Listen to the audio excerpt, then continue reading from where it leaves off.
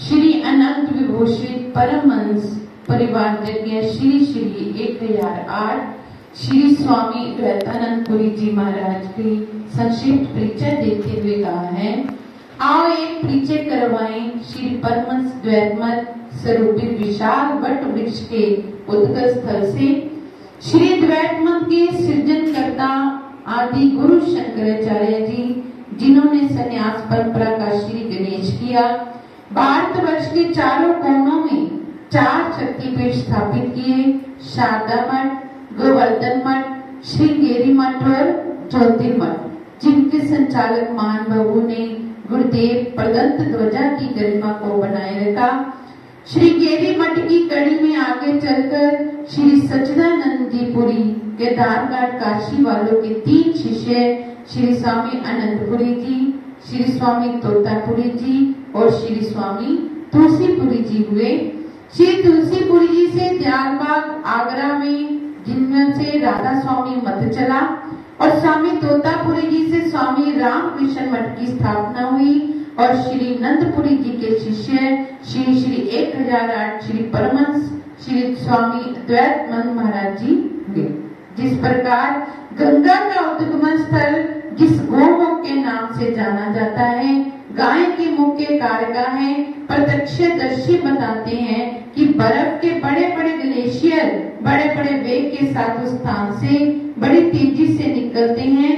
फिर धीरे धीरे अनुकूल जलवायु मिलने पर पत्थरों को चीरते हुए वो ग्लेशियर धीरे धीरे धारा में परिवर्तित होते हैं।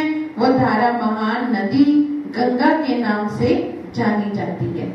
हर स्थान पर गंगा का महत्व एक समान है। पर गंगोत्री से निकली धारा हरिद्वार में आकर जैसे अपना रूप बदल लेती है, वो पतित पावनी गंगा बन जाती है। ये वही गंगा है जो महर्षि भगीरथ और उनके पूर्वजों से, तप के प्रभाव से इस पृथ्वी पर प्रभावित हुई। इसी तरह द्वैत मत की वो पतित पावनी गंगा राम याद के नाम से बिहार के छोटे से गाँव छपरा में पाठक कुल में तुलसीदास जी के गृह में राम नवमी। शुभ दिन अवतरित हुई कौन जानता था कि साधारण से परिवार में जन्म लेने वाला ये बालक दैत की ध्वजा को गुरु के आशीर्वाद और अपने तप से समुचे विषय में लहरा देगा सभी जानते हैं कि संसार भ्रम का फंदा है, लेकिन जीवन प्रयास करके भी कोई उसका छेदन नहीं कर पाता। आत्मा अनातन का भ्रम छुड़ाने के लिए ये सारी साधनाएँ बताई गई हैं। हमारे सदग्रंथ कोटि कोटि पुरुषों से किसी बिरले सदपुरुषों की कल्पना सार्थक बताते हैं, जो अपनी साधना तपस्या द्वारा जीवन और जगत का रहस्य जान पाते हैं। गीता में मनुष्य में श्रेष्ठु कच्चित सिद्ध और मानस में न सहस्त्र सुनो पुरारी, कोई एक हुई धर्म व्रतधारी कहकर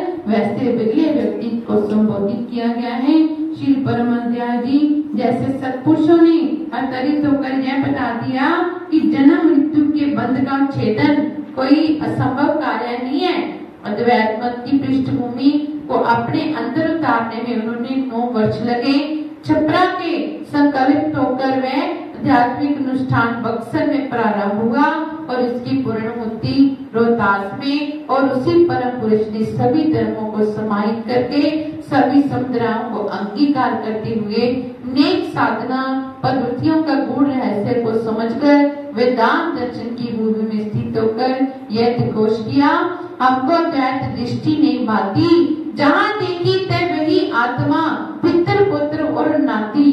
ब्राह्मण वैश्य शुद्ध सब ही नाम मात्र बिलगाती यही देवता, यही दिवालिया, पुष्प, धूप और बाती। पूजन वाली यही आत्मा। यही आप पूजाती अनंत पिंड स्वदेज अद्भुत, सकल ए हो जाती।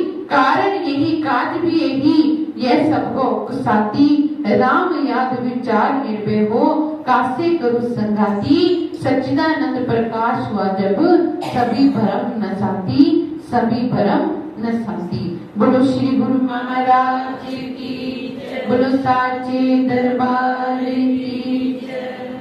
इसी जयमत के मत को पंथ को आगे बढ़ाते हुए, आगे की कथा हम सब कल शाम को फिर श्रवण करेंगे।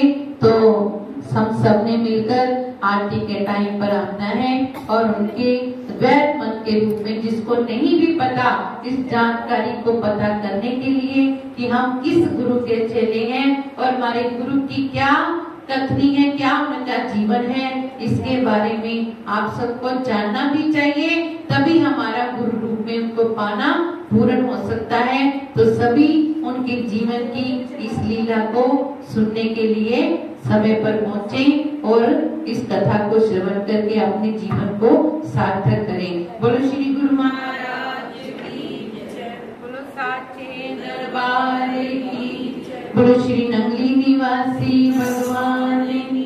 बोलो श्री स्वामी जी महाराज की।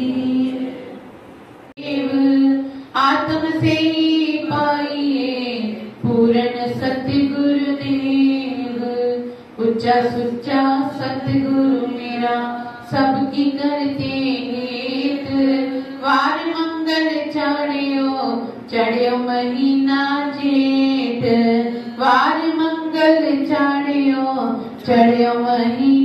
जेठ श्री गुरु महाराज की जय। बोलो साचे दरबार की जय। बोलो श्री नंगली निवासी भगवान की जय। बोलो श्री स्वामी जी महाराज की जय जय घोष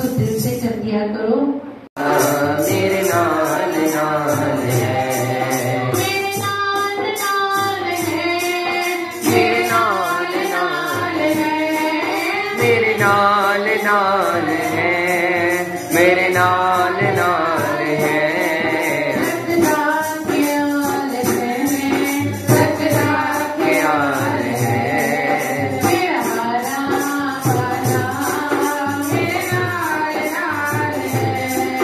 मेरा